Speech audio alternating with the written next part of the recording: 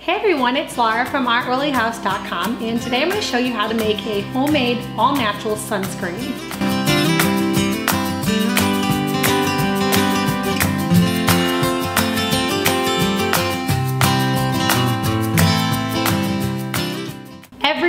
In the springtime, I whip up a batch of this and it always lasts me throughout the spring and summer. And then I just make a new one for the next year. So I've been making this for several years, so I can tell you that it does work. It is super simple to make and you just need a few ingredients and you probably have a couple of them sitting in your pantry already. So to make this, you're gonna need a double boiler. And if you have watched any of my other videos where we've used a double boiler here, you know that I don't actually have one. And instead I just take a bowl and place it over top of a pot because that makes a perfect double boiler.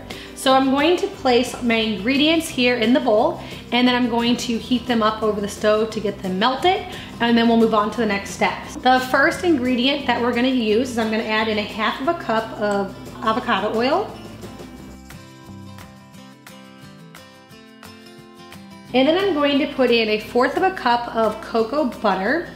Now cocoa butter comes in these hunks that look like this and so if you don't have this exact amount of cocoa butter, it's okay, just around a fourth of a cup. Sometimes this one's hard to measure because of it coming in the hunks like this. I'm gonna add in a fourth of a cup of cocoa butter, and then I'm going to add in a fourth of a cup of coconut oil.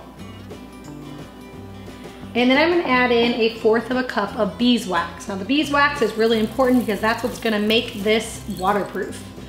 And then I am just going to go place this over the stove over medium to high heat and let the water underneath of it come to a boil and then let these ingredients melt.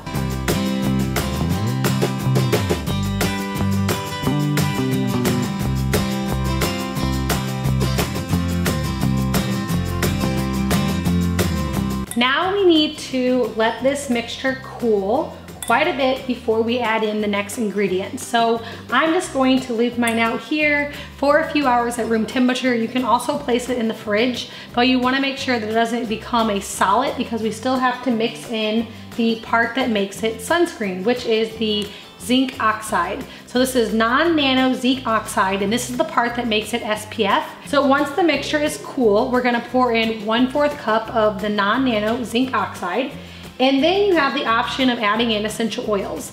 Now the essential oils are mostly for scent. There's also several that are really good for the skin. So I have here some peppermint because it is a nice cooling oil, so that might feel good in your sunscreen. Frankincense is another oil that I have here because this one has some amazing benefits for the skin. Another great one would be lavender essential oil. Now the one thing that you'll want to do is make sure you do not add in any citrus essential oils because citrus oils are photosensitive and that can actually cause you to get sunburned. So you definitely don't wanna add in citrus oils into your sunscreen.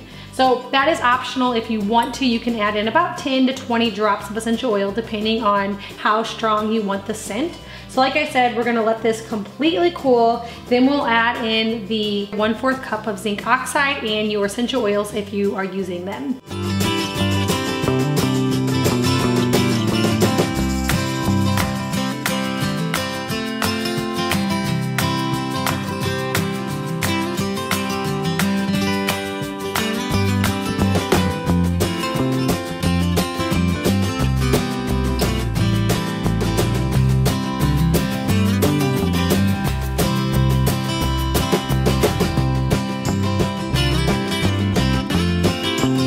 Then you're going to whisk those ingredients together and till everything is well combined and then your sunscreen is ready for use. I like to store mine in a wide mouth mason jar and I use a wide mouth mason jar because then it is easier to get in there and get the sunscreen all the way until the very end. If it's almost gone, you can still reach in there and get some out. If you are looking to make some more natural products and get toxins out of your home, be sure to grab my ebook with my top 10 favorite homemade recipes using essential oils and other natural products. And if you are looking for more essential oil education, be sure to grab my free online class. There's a link for that down in the description below. And if this is your first time by my channel, I would love it if you hit that subscribe button. I get out new videos every Monday, Wednesday, and Friday morning on essential oil education, healthy recipes, and natural remedies. Thank you so much for stopping by our oily house.